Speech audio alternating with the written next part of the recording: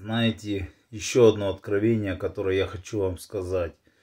Когда ты заряжаешься Богом каждую секунду, думаешь о Боге, когда ты читаешь Библию, разбираешь Библию, когда ты делишься роликами, например, в интернете, или в Инстаграме, или в Фейсбуке, или в WhatsApp, где ты делишься, распространяешь Слово Божие, когда ты говоришь о Боге, когда ты молишься Богу, Бог дает тебе откровение. В Библии Иисус говорит, не одним хлебом будет жить человек, но каждым словом, исходящих из уст Господа. Когда мы ищем Бога, Бог открывается. Когда мы читаем Библию, Бог говорит нам.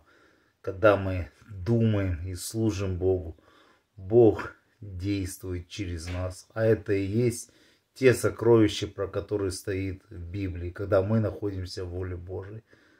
Благослови вас Господь и сохрани во имя Иисуса Христа. Аминь. Читайте Библию и наполняйтесь Словом Божьим.